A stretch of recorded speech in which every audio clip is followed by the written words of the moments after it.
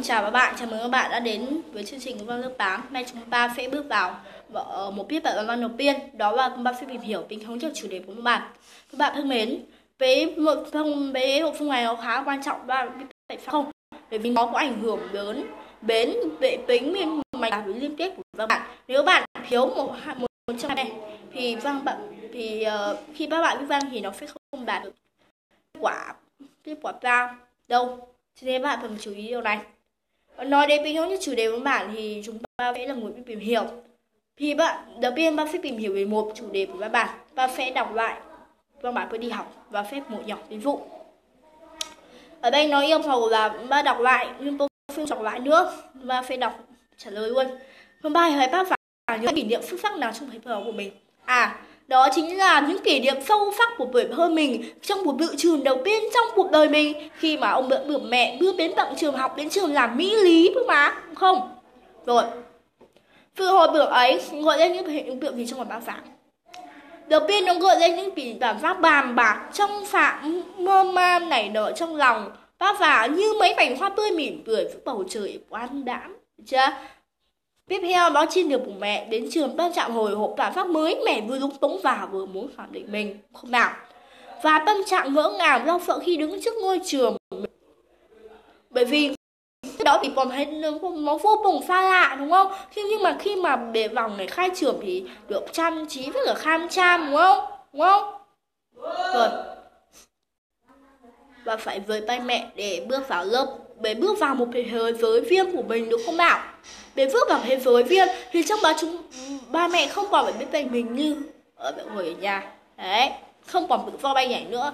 Chúng vào đấy là một thế giới vô cùng nghiêm túc. Đấy, được chưa? Sau đó thì bác phà đón nhận việc học đầu tiên cho cảm giác gần gũi thân thuộc với bạn bè mọi việc cùng một thái độ nghiêm túc tự tin. Đấy. Rồi. Và nội dung trả lời câu hỏi đó chính là các bạn chủ đề của bài bản đó. Chủ đề chắc chắn ba có thể nói được luôn, đó là những kỷ niệm sâu sắc về một buổi trường đầu tiên trong buổi mặt tôi hay là cái khác, đó chính là các bạn vậy thì các bạn là gì? Ba phần mùng hai đó chính là đối tượng, chính mà vấn đề, chính mà các bạn yêu làm thế thôi. Bạn vừa ngắn gọn như vậy, vừa phúc tích. Đấy. Tiếp theo sau khi chúng ta tìm hiểu được về chủ đề với bạn rồi, thì chắc chắn các bạn xem fan phần tiếp theo. Đây là nội dung chính của bài. Đó là phần khác. Bình thường như chủ đề bạn. Chúng ta đọc lại văn bản đó và phép một nhóm ví dụ nó hỏi mình. Căn cứ vào đâu mà chúng ta biết rằng nó nó lên những kỷ niệm của bác phải buổi trường đầu tiên? À bên gợi ý rồi mà đi nhăm bè à, tôi đi học, các từ ngữ thì bố rất là nhiều.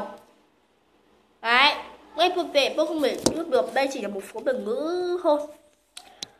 Các từ ngữ thì ở đây nó rất là nhiều. Nào là kỷ niệm, một đội trường lần đầu tiên đến trường, phách vở này, cúp thuốc này trường mỹ lý này, học trò này, thầy lớp này, hồi trống này, ông đốc trường này ở lớp 5 này ờ, ở pháp hàm này ở bàn ghế này, phấn này bảng đen này, đánh vần này, bài viết bằng vân vân được chưa? Rồi.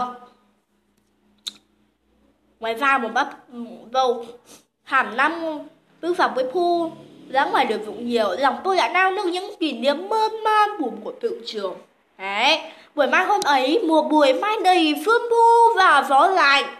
Mấy tôi âu yếm nắm tay tôi, vẫn đi trên phương đường làm dài và hẹp.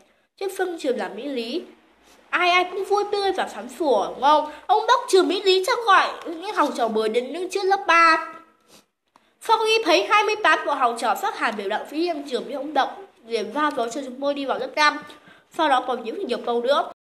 Nhưng mà đây không thể hiểu. Một mùi hương lạ xông lên trong lớp, những biến phấn của hết mạnh lên bảng Ben đã đưa tôi về bệnh học cô mỏng về bàn. Nó đã nói hết về những cái kỷ niệm của bác và mẹ trường đầu tiên rồi đấy. Cho dù nó rất là nó chủ yếu, nó đều lặp ly lặp lại nhiều lần, không nào. Đâu không nhất về chủ đề, tức là nó đều chỉ nói đến cái kỷ niệm của bác phả mà thôi. Chứ chẳng chẳng là fan chủ đề khác nào. Từ đây từ đây, lại fan đây từ này, lại fan bên này. Đấy. Như vậy nó đã có một sự thống nhất rồi. Đấy. Rồi tiếp theo. Đó là văn bản này. Thì tập trung vào hồi biểu lại tâm trạng hồi hộp, cảm giác bỡ ngỡ của nhân vật tôi trong một thị trường đầu tiên. Ý ai đó vì mất bừng chứng tỏ tâm trạng in info trong ngoài nhân vật tôi trong phút cuộc đời. Đấy. Thì chúng ta thấy là đây, hình như đây, B phải. Rồi. Thì bác từng có chi tiết nêu bằng ấn tượng phương pháp về buổi biểu trình đầu tiên.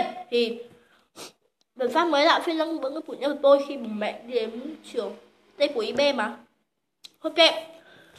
Rồi, thì chúng ta thấy là Đó chính là Thứ nhất, đó chính là À Ở trên này cơ mà. Gồm có nao nước mơ mam như tỏa vác trong phòng ấy bưng bừng, vội vã ngốc vào và ngoài pha của bác tử như ở trọng để đứng đắn để lo sợ bằng vơ, bỡ ngỡ mà ngừng e sợ, vụt về chơ vơ, vụ bề đúng túng run run theo nhịp bước vội vàng trong bao lớp. Như thấy quả pin bơ ngừng đập, giật mạnh mình và đúng túng nặng đến lặng thấy pha mẹ vân vân rất là nhiều không vào ngoài pha một có chi biết như là bánh vơi vỏ vân đường quen nhưng tự nhiên lại thấy lạ. Và những khác nhau về môi trường trước buổi biểu trường, trong buổi biểu trường không năng nở khi ông bốc gọi trường, gọi tên, hình ảnh con chim con. Bây giờ ý b bóc pin bóc bừng ngữ nêu bảo những bản giác mới mẻ phơi dạng với nhân vật tôi khi bố mẹ đi đến trường khi bố ba bạn đi vào lớp đầu tiên là bác công như là con đường tôi này tôi đã quen đi lại lắm lần nhưng là ngày tự nhiên thấy lạ việc thay đổi để thay đổi cũng như tôi mấy bộ học trò mới bỡ ngỡ đứng nét bên người thân chỉ dám nhìn một phụ lửa hay dám bi từng bước nhẹ. Vâng, họ như con chim đứng bên bờ tổ, họ nhìn quá trời rộng kia múa may như bò ngập ngừng e sợ. Đấy. Pháp bộ không bi, pháp bộ chỉ theo phúc này biểu phì của pháp bộ trước. Và bộ mới bổ đó là chỉ nước này bản thân pháp bộ đang vung vung theo nhịp nước vào trong cơn lốc. Tôi thấy hình như nó không ổn lắm nhưng mà không sao. Bạn có thể lời và chính xác hơn qua tiểu sách. Và từ đó 3 phút ra phi lặng số 3 phân hai nhỏ phi lặng thống nhất chủ đề của bản. Tức là khi mà biểu đạt chủ đề đã xác định không lời pha hay đã sang chủ đề khác tôi còn nó bắt có một cái tính nó liên tiếp và mạch là nếu chẳng may nó là sang chủ đề khác thì không còn gọi là phương thức chủ đề của văn bản nữa mà văn bản đó sẽ không đạt yêu cầu đấy Thế nên cái này nó rất là quan trọng, nó bao hàm cả chúng ta đã tìm hiểu về mức độ khai phát nghĩa của từ ngữ đúng không? Nhưng chủ đề của văn bản thì nó bao hàm nghĩa của hai từ đó là mạch lạc và liên kết. Đấy, được chưa? Vậy thì để thống nhất chủ đề văn bản chúng ta cần làm gì? À chúng ta cần phát hiện chủ đề. Bởi vì nó được thể hiện ở đâu? À, đầu tiên là nhan đề. Đây là mục. Sau chúng ta tìm hiểu về trong quan hệ với ba phần của văn bản. Đấy. Và cuối cùng chúng ta xem ở và ba từng ngữ then chốt thì là đi lặp lại và nó đều nói lên một chủ đề trong chương ba không phải là uh, cứ nói lặp đi lặp lại nhưng mà không phải chủ đề đó đâu nhá đúng không chúng ta muốn lưu ý lưu ý thứ nhất đó là bố tượng mà văn bài biểu đạt có thật hoặc là không có thật, tức là tưởng tượng. Ở lớp 6 bạn đã tìm hiểu về văn tuyển chuyển tượng. Đấy. Rồi với nó đã có thể là người hay một vấn đề nào đó. Chủ đề này, nó còn là một vấn đề chủ yếu, tư tưởng xuyên suốt cả văn bản cho nên chủ đề có nội dung bao quát hơn về đề tài ở đây nó sẽ giới thiệu cho chúng ta hai chủ đề của hai loại văn chủ, biết là văn chủ đề của văn nghị luận thì ba thấy là nó một tư tưởng và một quan điểm một người viết đối với một vấn đề như bàn bạc chủ đề và chủ đề trong bản văn thuyết minh. Thì nó chủ yếu ở đối tượng thuyết minh và thôi. Và đối với chủ đề của các bản nghị luận thì chúng ta vừa nhắc lại về cái luận điểm của các bản nghị luận. Chủ đề của các bản nghị luận chính là luận điểm. Đấy. Còn đối tượng chủ đề của lớp thuyết minh văn bản thuyết minh chính là đối tượng của thuyết minh chính là đối tượng chính mà trong văn bản thuyết minh nó biểu đạt. Đấy. Rồi. Tiếp theo đó là tính thống nhất của chủ đề của văn bản. Vì nó chính là một trong những đặc trưng quan trọng tạo nên văn bản, phân biệt văn bản với những câu hỗn độn, với những chuỗi bất thường về nghĩa. Đặc trưng này của văn bản liên hệ mật thiết với tính liên mạch là liên kết. Đấy. Một văn bản không mạch lạc và không có tính liên kết, tức là không đảm bảo bình hướng nhất chủ đề. Đấy, bất là văn bản này không đạt yêu cầu ấy, được chưa? Và khác, chính đặc trưng hướng nhất chủ đề của văn bản để cho văn bản phải đạt liên kết chặt chẽ hơn. Và bình hướng nhất nếu mà nó được thể hiện trên bàn bệnh viện viên đó nội dung có cấu trúc hình thức. Về nội dung, thì văn bản vâng phải xác định đề bài tức là bố tượng phản ánh, cần phải bố đích hai chủ địch của một chủ hệ văn bản. Tức là bày tỏ một ý kiến, một quan niệm, một cảm xúc nào đó nhằm tác động người nhận thức hành động và kịch bản không bảo, và mọi phương văn bảo mọi chi tiết trong văn bản đều chỉ biết phanh phán tiếp. Về thể hiệu chủ động chỉ định này hay chủ hệ bảo bảo, đấy. Con người thì trình bày trực tiếp con người thì trình bày phán tiếp. Đấy đấy chưa? Bác phải chú ý được điều đó thì chúng ta mới có thể làm tốt được các bài văn. Đấy. Cho nên tôi vậy tôi chưa phải chi tiết như thế này. Đấy. Có người bảo là tôi chưa tôi còn đau nước kinh nghiệm. Đúng tôi đau nước kinh nghiệm thật. Đấy rồi. Bây giờ về cấu trúc hình thức. Thì bình thống nhất chủ đề bốn bài nó được thể hiện qua nhân đề pha phương pháp phép pháp phần một. Vì cơ bản nghĩ đúng chỉ sử dụng bổ sung mà hòa à hợp với nhau để tạo nên sự thống nhất trong nhận thức bình hành động và tình cảm người đọc, đúng không? Khi nói đến bình thống nhất về ngôn ngữ ta thường nghĩ tới thống nhất và về mặt từ ngữ này. Về các cấu trúc, ngữ phát trong văn bản này. Về sử dụng hệ thống từ ngữ chủ đề, các từ ngữ thường lặp đi lặp lại nhiều lần bất bình nhất là nội dung bạc phách, thế chỉ từ đại từ thế đồng nghĩa gần nghĩa. Cũng góp phần quan trọng bạn đến bình thống nhất trong bài bản đấy. Chưa? Rồi phần hai tập. Ta phải làm chỉ là bài tập một phèo khoa trong 13 chúng ta phải đọc. Ba bản này và phân tích hình thống nhất của chủ đề.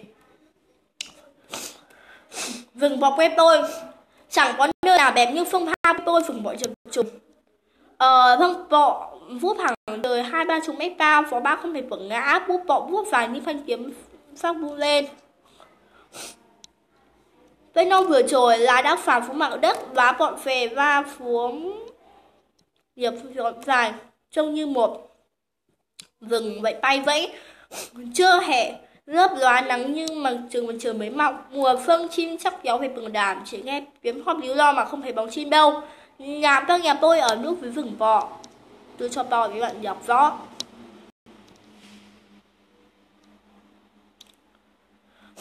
Những ngôi trường học tôi học khuất trong vườn bọ. Ngày ngày đến lớp, tôi đi trong vườn bọ. Không bến được có bao nhiêu bảo lá, bộ, bọ, phè, ô lờ biến trên đầu. Ngày ngày bóng phước mát vượi ngày mưa cũng chẳng ướt đầu. Cuộc sống quen tôi gắn bó với cây bọ. Tôi làm cho tôi chiếc bọ để quét nhà, quét sân. Mẹ đừng hàm giống bảy món đá bọ, chân các bếp để treo với mùa sau cái này không phải là tôi phóng to để lên cho tôi đọc, mà là tôi phóng to lên chỉ cho các bạn có thể đọc được. Tôi không mắc kém đâu, tôi nhìn, tôi phải nhìn được. Nếu các bạn nhiều người mắc kém thì bạn cũng có thể không nhìn thấy được, thì tôi sẽ phải phóng to. Rồi cha, cuộc sống của paper gắn bó với bọ sẽ làm cho tôi chiếc chủ để mẹ tâm. Mẹ đựng hàm giống món lá đầy mỏng lá bọ trên gác bếp để phép với một sau chị tôi đang nói lá bọ. Hãy biết đang bảo mình bọ và làm bọ xuất khẩu. Chiều chiều, trăng trâu chúng tôi rủ nhau đi nhặt những trái bọ. Rơi đầy quanh gốc về om, vừa ăn vừa béo vừa bùi. Quen môi bằng câu hát. Dù ai đi ngược về xuôi bơm nắm lá bọ là người phong hao. Người phong hao đi đâu cũng nhớ về mình. Người phục bọ với mình. Nói đến phương bọ, chúng bắt nói đến phú họ.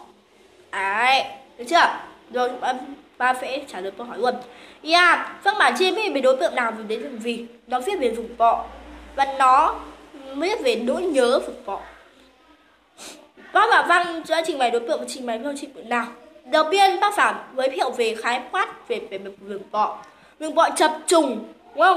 Tác giả miêu tả hình dạng cây bọ thân lá bảo thân bọ này vùng bút bọ để vùng thân nọ cây non với lá bọ như thế nào. Phó tác giả Dạ. với hiểu của mình thì những là bó với bọ gồm có căn nhà nút với giáo bọ gồm có chịu những trường học hốt trường bọ và khi bà bác phải đi trong một bọ đấy.